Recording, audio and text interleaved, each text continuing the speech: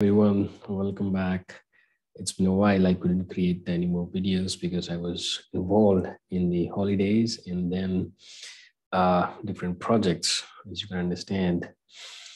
So it's it's winters it's pretty cold where i am right now and i do not have a heating mechanism here in my room so anyways let's get back to the study and let's talk about what we're gonna do in this video. All right, so, well, we will try to demystify Cloud Adoption Framework or CAF. As the name suggests, it's a framework to adopt the cloud. Wow, it's an intelligent way to decipher CAF.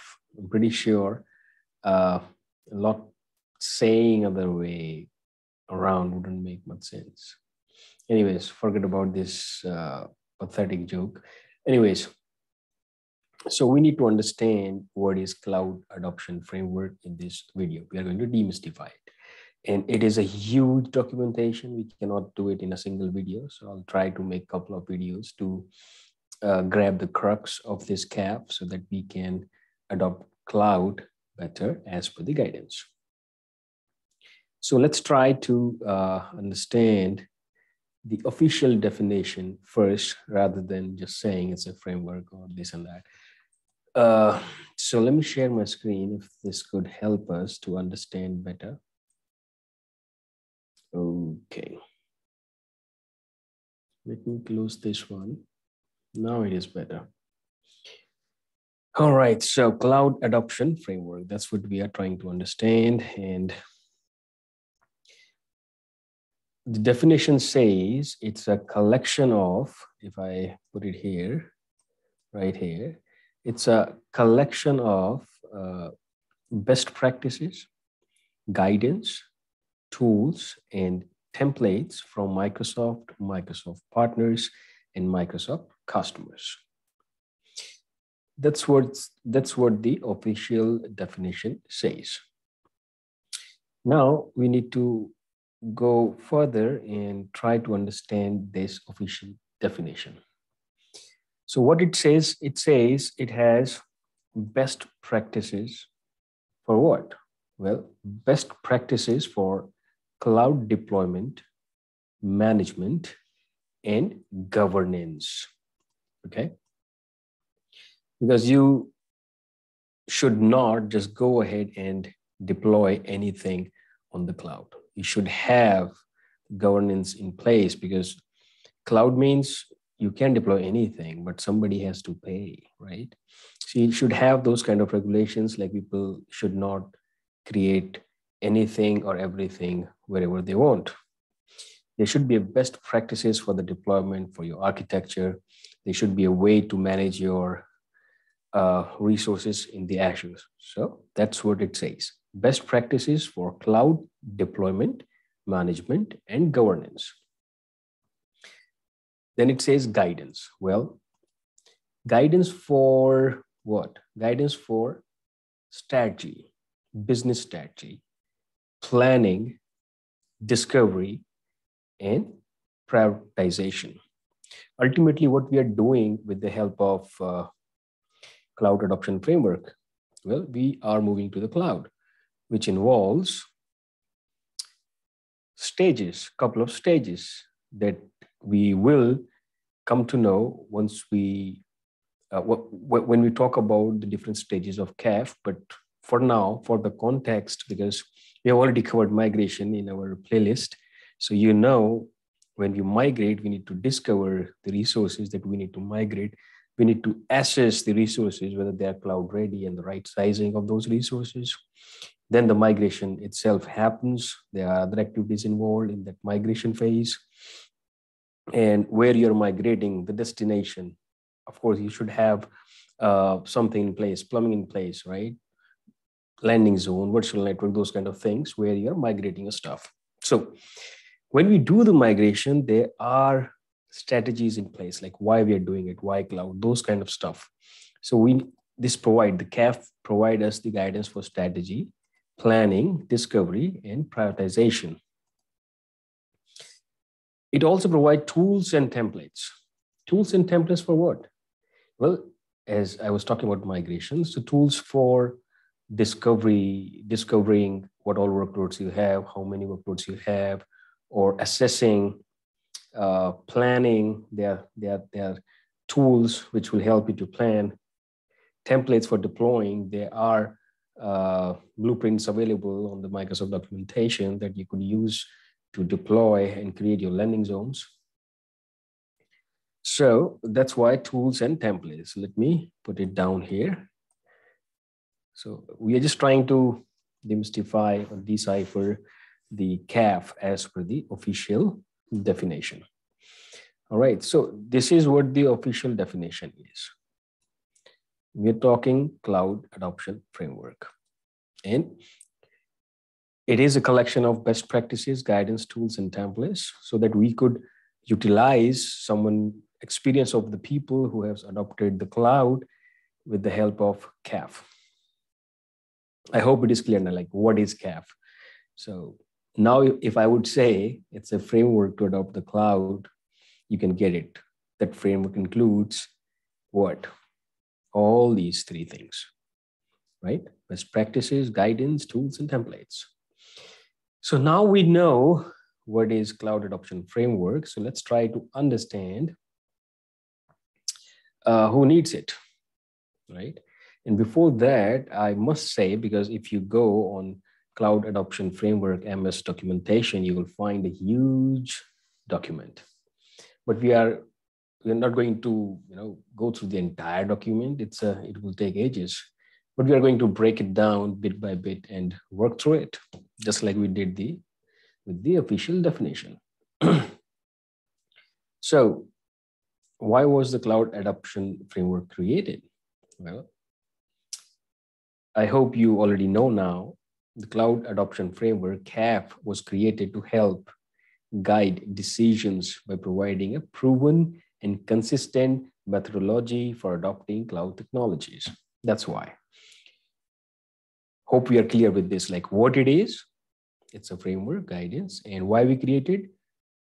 It is clear. Now, we could we could say we know what it is and now let's see who this framework uh, is for exactly right it's a framework somebody has to use this one so who is going to use this framework?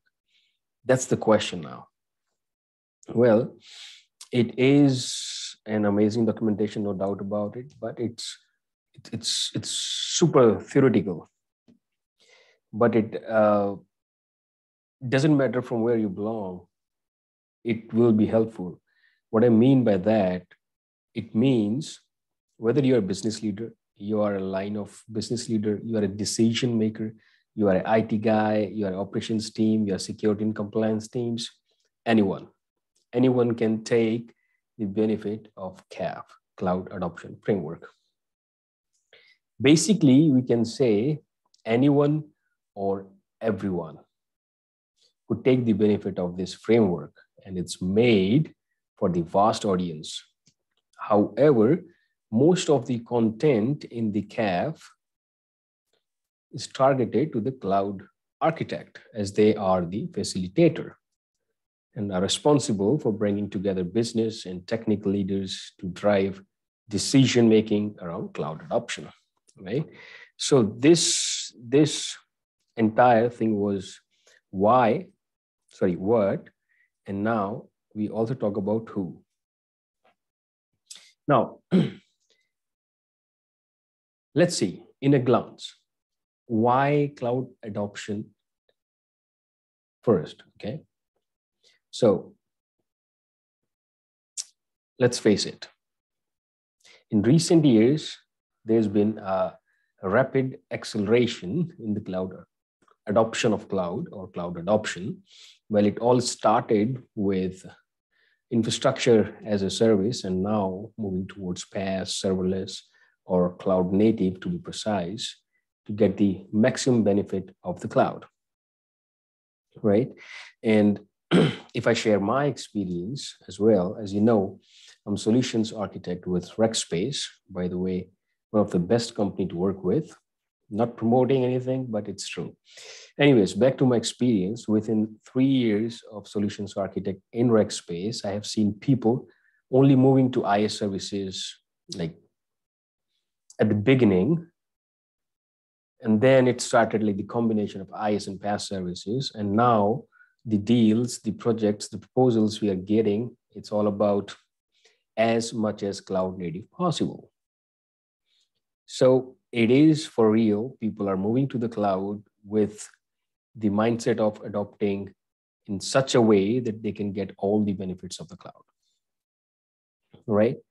So many organizations now want to take advantage of uh, cloud, which are cost efficiency, we can say, if you uh, design in such a way that it could be cost efficient, scalability, we all know that, uh, security, uh, there are other benefits, flexibility, right?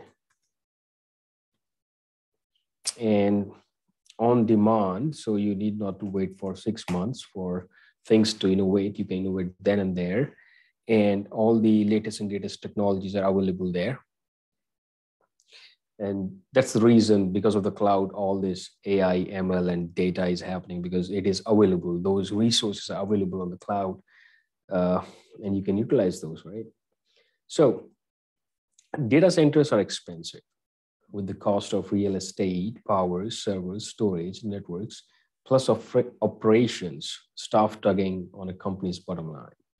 It's no wonder that organizations see the cloud as a way to reduce or even eliminate some or all these expenses and move towards innovation, move towards uh, optimization, and bring as much as profit possible. Apply the, the, the savings in the business rather than hardware operations that's why, right? So while the benefits are worthy, the migration journey can be complex.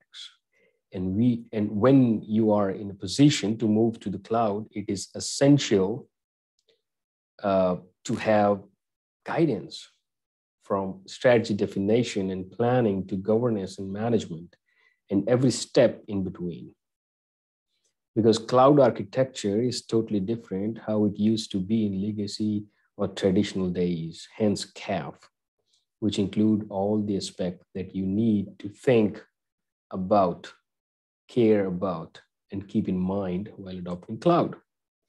Now, hope things would be clear now, and let's have a look uh, different phases which are involved in the CAF, and then we'll talk about each phases. Right. So till now, we we know what CAF is, why CAF needed, who can get the benefit of this CAF, right? We are good with these three questions. Now, if anybody would say, you can easily explain, and it's not about explaining CAF to someone because it comes during the conversation for sure, but this is more of a framework to use while dealing with these situations. So now let's go ahead and uh, talk about different uh, phases, as we said. So in CAF, there are uh, phases. The very first is strategy. Strategy, where we talk about uh, why cloud, why now? Uh, is there any challenges that you're trying to fix by moving to the cloud? Like why you want to move to the cloud? What are the business drivers technical drivers challenges uh, business outcomes those kind of things timeline those kind of things right? So the very first is strategy. And you have the templates the tools and templates. You have the templates so that you can define your strategy on the paper on the you can document it and follow it it's just not like for the conversation you can actually go ahead and document it. There are templates available.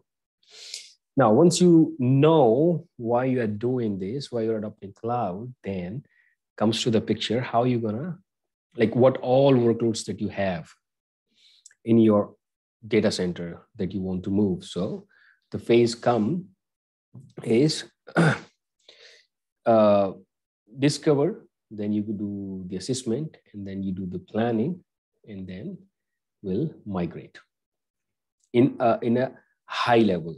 But if I open, let me open the cloud adoption framework Azure. You see, there is a strategy phase, there is a planning phase, there is a ready phase, and there is a migrate phase. Okay, there is an innovate phase. It wasn't there, but they have included this recently because this document is not done. This is a continuous improvement. As soon as you find new things, they keep on adding the new things.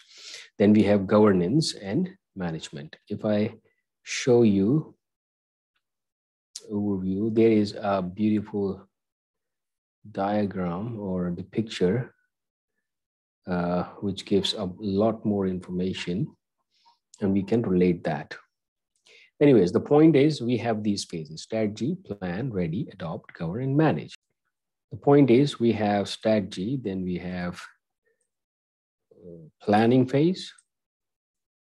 Instead of writing, I think if I just talk about those phases, give you a little idea, that would be better. So let's go back to the documentation. All right, let's not do this. All right, so the phases we have strategy we already talked about and then we have plan plan phase in the in the planning phase we are planning to adapt to the cloud which include the discovery what all workloads we have what are the dependencies what are the performance what is the application value whether whether those applications going to remain for like five months five years or going to die in five months then the assessment whether they are cloud ready and then the grouping of the uh, workloads as per the dependencies, right sizing, those things happen in the assess phase. And these two, these two phases, discovery and assessment comes under the plan phase. Now, ready is all about preparing the destination. Here comes the landing zones that we talk about. Landing zones you see here under ready. And then comes the actual migration because you know what to migrate now. You have all those workloads in place as per assessment, but you also have the destination where you want to migrate. That is the ready phase. Now the actual migration. Once the migration happens, then there is a governance governance phase and the manage phase, which is not like. And let me tell you this: this is not like these phases are happening once it's not like a waterfall to be honest. Uh, you can apply governance you can keep this mind keep governance in mind when you're preparing your environment in the ready phase. It's not like it will come at the end. It will be there it will start from the ready phase or it will start actually on paper from the strategy and planning phase and the governance will be applied with the help of policies RBAC, tagging, locking, center, security center, uh, from the ready phase as well. It's, it's a continuous process. Same goes with the management. It's not like once everything is done, then I'm going to manage it. We need to think about it from the beginning, right? And then uh, innovate. We can we can also innovate while migrating. For example, you're not doing lift and shift. You you want to refactor it. You want to re-architect it, right? Or maybe you just want to move to the cloud and then innovate it because you need not to wait for six months for some hardware, for some uh, machine or server to innovate. You have there on demand. You you work on it, you destroy it. You need to pay for an hour or two. Anyways, so that's the cafes cloud adoption framework is. I hope I would be able to give you uh, a good picture of cloud adoption framework. If you have questions, please uh, comment. And we are not done yet. We're going to explore all these uh, all these phases or steps involved in the cloud adoption framework. So let's meet in another video. Till then, take care. Goodbye.